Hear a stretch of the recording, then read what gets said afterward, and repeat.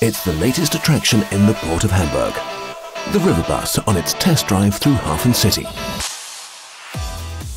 Until now, the new Hafencity river bus was just a vision, but today it's in action. Come on and join us. We're on board. The journey begins in Entenwerder, just behind the Norderelbbrücken. Insgesamt sind es vier Jahre von der It's taken four years from conception to where we are today. It's a new product and a new vehicle. Uh, and we had to look at all the problems, all the risks.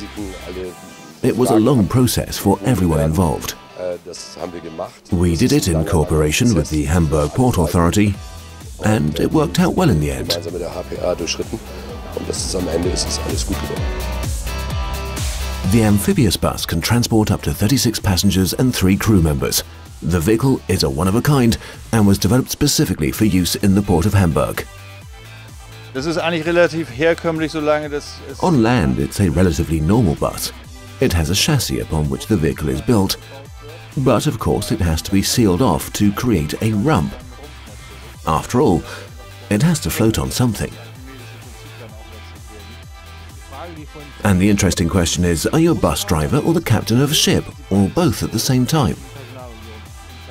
I'm both.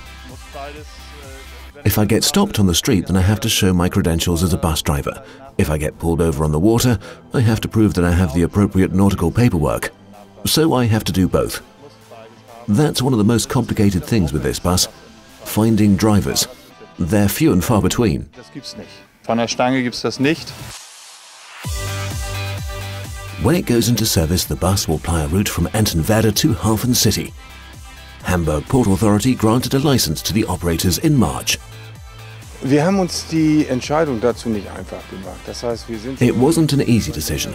We negotiated with the operator for a long time. Hamburg haben wir wieder besonders There are special regulations for commercial vessels in Hamburg, so anybody charging to transport people.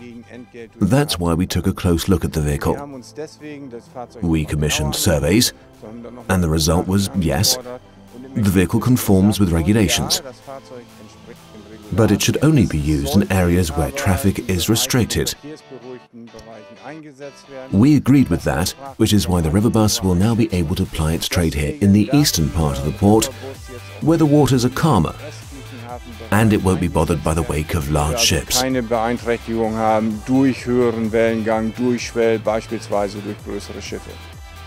The bus cruise on the Elbe takes a good half an hour, and then it's time to go back to Entenwerder. The official start of the swimming bus will be in the middle of April. Thanks for watching us. See you next time. And as we say in Hamburg, tschüss.